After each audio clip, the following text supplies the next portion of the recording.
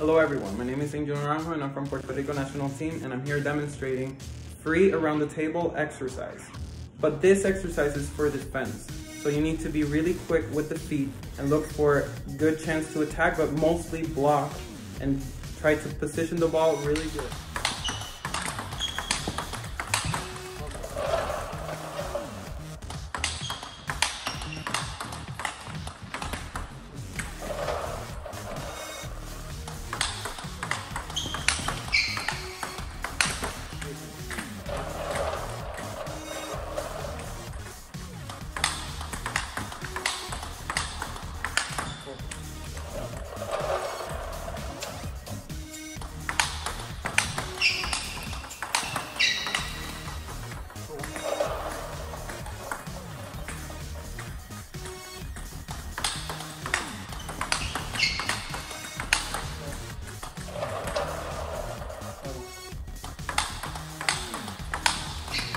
Thank you for watching. Have a great day.